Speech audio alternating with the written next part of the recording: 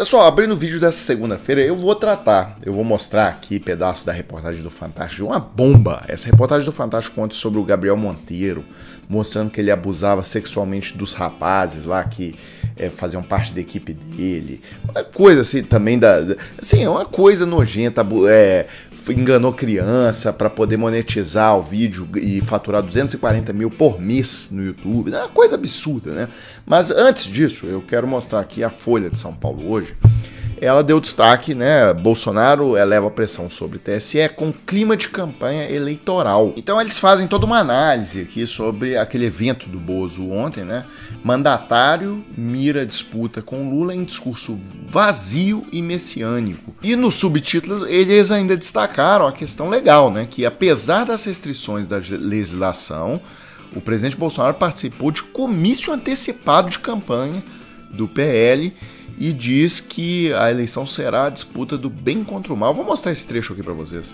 Esse é o nosso Brasil. O nosso inimigo não é externo, é interno.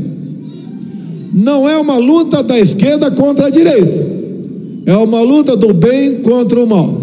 E nós vamos vencer essa luta, porque eu estarei sempre na frente de vocês. O que nós queremos, juntamente com muitos que estão aqui, é deixar e entregar o comando desse país lá na frente, bem lá na frente, por um critério democrático, transparente, um país bem melhor do que recebi em 2019. Então, alguns comentários aqui, pessoal. O Bolsonaro vai entregar o Brasil, guardem isso, hein? O Bolsonaro vai entregar o Brasil com todos os dados econômicos muito piores do que ele recebeu do Temer em 2018. Então vamos lá. Inflação, por exemplo, o Temer entregou uma inflação rodando é a 3,75% ao ano, tá? E o Bolsonaro vai entregar uma inflação rodando acima de 10% ao ano. É, taxa básica de juros da economia. O Temer entregou a 6,5% para o Bolsonaro. O Bolsonaro vai entregar a mais, mais do dobro, né? A, a Selic vai fechar o ano a 13%. E isso é gravíssimo, né? Isso tem um custo para a dívida pública do Brasil giga monstruoso. Isso tem um custo para o crescimento do Brasil, porque ninguém quer investir, é, fazer investimento produtivo, tá? Abrir fábrica, abrir negócios. É, com uma taxa de juros tão alta assim. Então, o Bolsonaro está destruindo o futuro do Brasil e está destruindo o presente também. Né? O crescimento do Brasil em 2022 será zero e o Temer entregou para o Bolsonaro um país que crescia 1,5%. É ruim, é mas o Bolsonaro conseguiu piorar a situação. Sobre a parte em que o Bolsonaro diz que, é, na verdade, isso é uma luta do bem contra o mal, né, o André Janones fez um comentário muito bom aqui. É, em seu discurso, Bolsonaro diz que é, não há uma luta entre direita e esquerda, mas sim uma luta do bem contra o mal. Faltou mencionar que ele é o mal encarnado. E aí só fechar com trechos aí da reportagem lá do Fantástico sobre o Gabriel Monteiro, esse YouTube, policial youtuber, né? Ele foi um dos precursores desse movimento é, de pessoas que usam o armamento que o Estado dá, ou seja, policiais, que usam ali a viatura da polícia, o armamento que a polícia dá, o treinamento que a polícia dá, para é, fazer filmes de ação, de certa forma, totalmente fakes, né? Tem aquele delegado da Cunha, tem.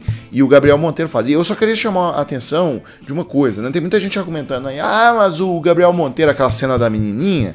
Ah, mas o Gabriel Monteiro doou dinheiro para ela. O meu filho, o Gabriel nada, o Gabriel Monteiro fez muito dinheiro com aquela cena, tá? Durante ali a reportagem, o próprio Fantástico traz um analista, um perito, que mostra que ele fatura em torno de 240 mil reais por mês com esses vídeos no YouTube. Lembrando que esses vídeos pegam 5 milhões de visualizações, é uma quantidade absurda. Ele tem 5 milhões de inscritos no canal.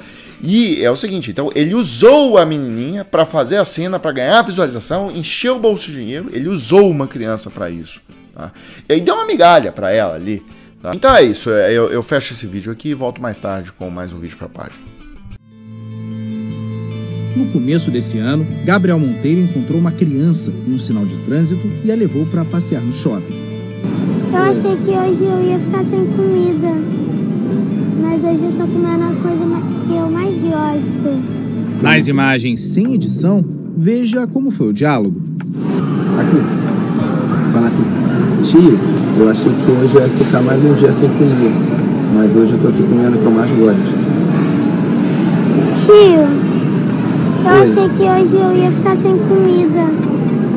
Mas hoje eu tô comendo a coisa que eu mais gosto. O vereador cometeu algum tipo de crime contra a criança e o adolescente? Sim, nós temos ali várias violações ao Estatuto da Criança e do Adolescente e à Constituição Federal. Tranquiliza aí, tranquiliza aí, deixa atirar. Está protegido, deixa atirar. Tranquiliza. Você vai ver agora uma tranquilidade que o vídeo editado e postado não revela.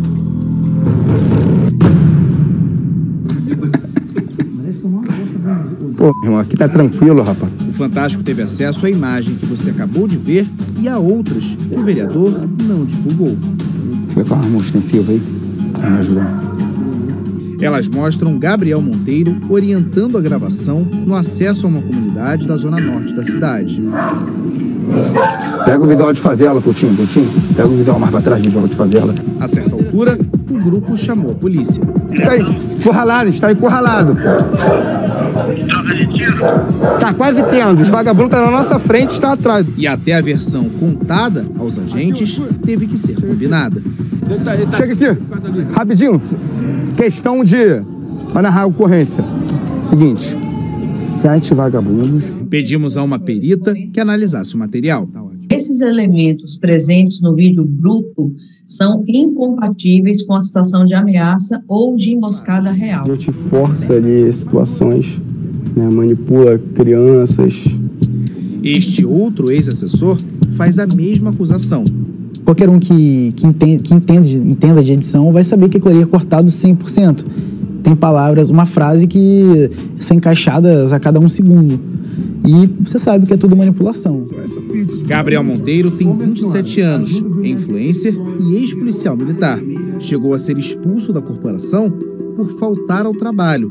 Conseguiu reverter a decisão na justiça, mas quando se elegeu vereador do Rio, deixou a PM de vez porque não tinha tempo de carreira suficiente para uma licença de quatro anos. que são ou foram lotados no gabinete de Gabriel Monteiro aqui na Câmara do Rio. Todos relatam situações de assédio sexual e também de assédio moral. Inúmeras vezes ele começava a fazer alguns atos, eu pedia para parar e ele não parava. Que atos? De mandar eu ficar fazendo carinho nele. Carinho onde? Carinho em região, em todas as regiões do corpo. Inclusive na, na região é, genital ali? Já chegou a pedir também.